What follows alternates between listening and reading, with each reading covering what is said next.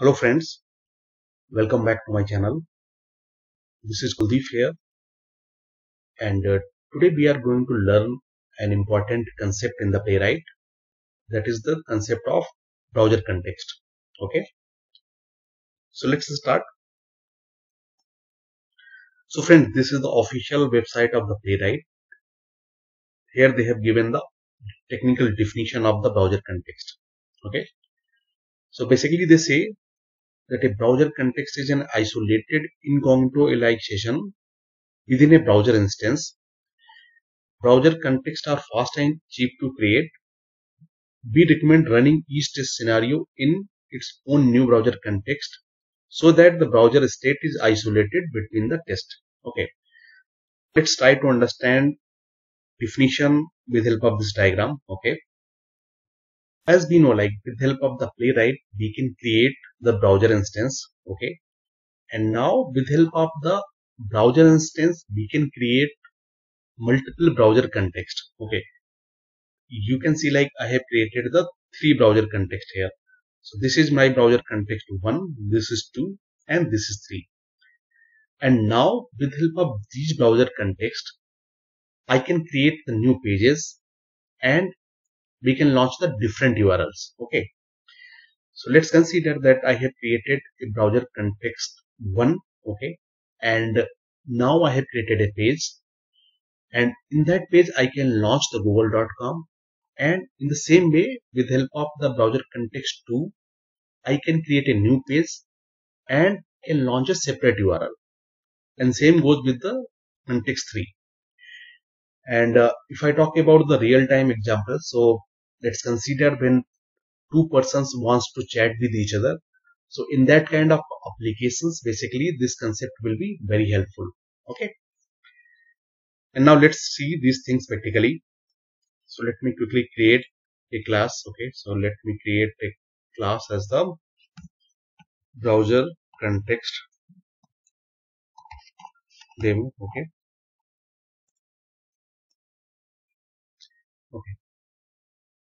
so let me use this code to launch the chrome browser okay? So i will just copy it okay? And i have already explained this thing in my one of videos. We provide the details of that uh, in the description. Okay so let me copy this code. And let's launch the chrome browser with the help of this one. Right. So let's try to understand that uh, what is the meaning of this launch method here so basically this launch method is returning the browser instance okay?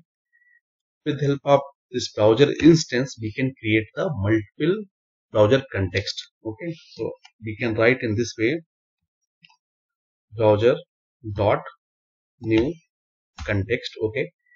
And you can notice like this new context method is returning a new browser context okay? And it wouldn't share the cookies and cache with other browser context okay?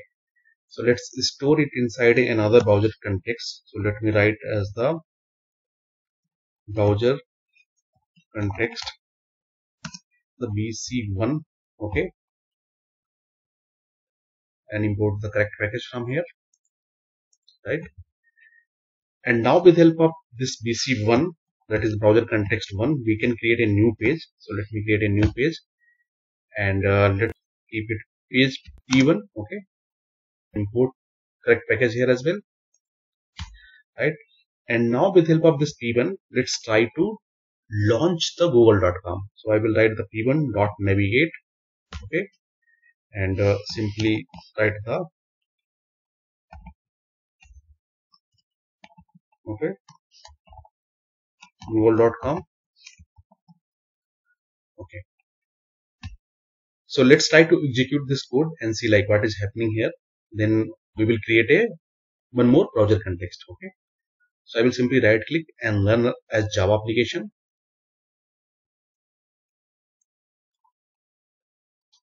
So here you can see like it has launched the google.com okay? Right. So let's do one more thing. Let's try to get the title of this page so i will write the sysout and p1 dot title okay So we have seen like with the help of this browser instance, I have created one browser context. Now let's try to create another browser context. Okay, so I will simply copy this code and uh, let's create another browser context here. So let's create like BC2. Okay, and uh, let's create another page here like b2 okay and with the help of this bc2 we are creating a new page here okay and again like uh, this is a p2 okay? And now try to get the title of p2 along with that we need to change the url here as well. So i will write the amazon.com okay? And in, in case like if you want to create one more context so we can also do that. So let me quickly create the third context as well.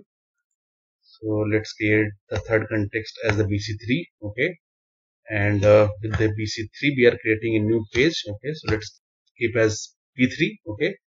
And with help of p3 let's try to navigate to okay flipkart.com okay? And uh, try to get the title of p3 okay? So i hope code looks good right okay so let's quickly execute this code and see uh, what happens here. So here you can notice like with the help of this browser instance actually we are creating the three browser context. Ideally the three browsers should be launched okay and they should be launched in incognito mode which means like they are not storing any kind of the cookies and cache there. And they are working independently uh, with each other okay. I will simply right click and let's run a Java application. Okay so it has launched the Chrome and open the google.com in first browser context. Okay. In the second it is amazon.com and in the third it has launched the flipkart.com okay. And if we go to the console then we can see like it has written the page title for all three different urls for first it is google. Second it is amazon. And this is for the flipkart. Okay. So guys that is the way that we can create the multiple browser context in the playwright. I hope it is helpful. Okay guys. So that's it. Thank you for watching my channel. Please like comment share and subscribe. Thank you so much